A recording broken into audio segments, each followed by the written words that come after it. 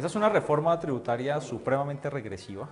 yo, porque lo que propone realmente es un aumento del IVA mientras los impuestos directos, que son los impuestos progresivos por naturaleza, se van a disminuir hasta extinguirse, como dice el gobierno nacional. Y los que van a terminar pagando los platos rotos son los hogares de ingresos bajos y los hogares de ingresos medios, para quienes va a tener una carga muchísimo más alta el aumento del IVA, del 16 al 19%, que para hogares de ingresos altos. Entonces, yo creo que la única alternativa que tenemos los colombianos para evitar que se lesione nuestros intereses es salir a movilizarnos para derrotar esa reforma tributaria, que no se apruebe en el Congreso de la República esa reforma.